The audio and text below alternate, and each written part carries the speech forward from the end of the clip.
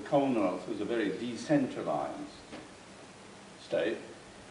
Uh, the um, influence of the uh, Palatinates, the, the regions were very strong, an identity was very strong uh, whether you came from Małopolska or Wielkopolska or wherever, Kujawy, all these uh, provinces of Poland had a very strong separate identity, as it was also true in the Grand Duchy.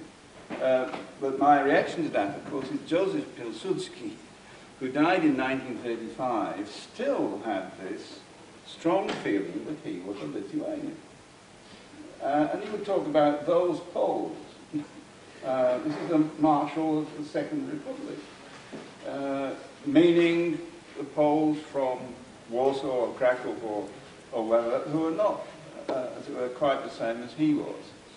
Uh, and this is, uh, I think, an example of the, the long, long legacy of the Grand Duchy that we're, we're talking about.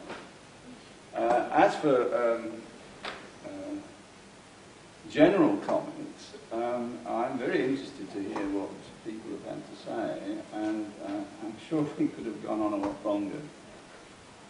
Uh, it uh, provokes me to say that this is exactly the sort of discussion I would expect if I'm invited to go to Barcelona to talk about the, uh, uh, the, um, the kingdom county, as I call it, of Aragon, where uh, uh the uh, historical interpretations uh, of that Spanish kingdom are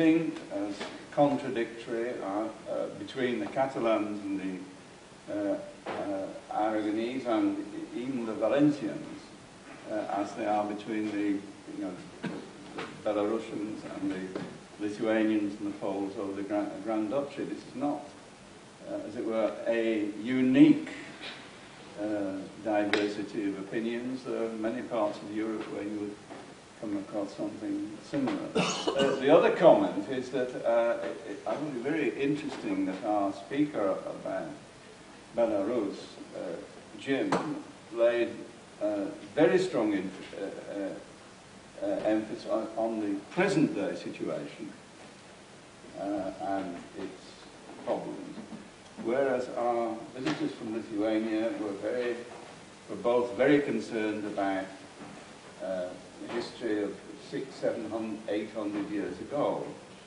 uh, and that may well be a reflection of the, uh, the stable nature of Lithuania and the unstable nature of, Belarus. But it struck me sitting in the middle how uh, they were looking uh, at the problems from different ends of the, of the telescope. But thank you for, very much. It's been very interesting for me. Uh, I hope it's been